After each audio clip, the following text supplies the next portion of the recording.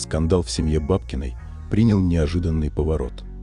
А весь сыр-бор произошел из-за молодого любовника звезды. На помощника Надежды Бабкиной, с которым ей приписывают роман, зря спустили всех собак. Сергей Рябов оказался лишь жертвой обстоятельств, а не виновником конфликта. По слухам, народница в пух и прах разругалась с сыном из-за нового возлюбленного. Появилась информация о том, что певица купила ему шикарную квартиру в Москве. Это и стало яблоком раздора. Концертный директор артистки Сергей Горох поспешил прояснить ситуацию и заявил, что наследник не мог разорвать отношения с матерью.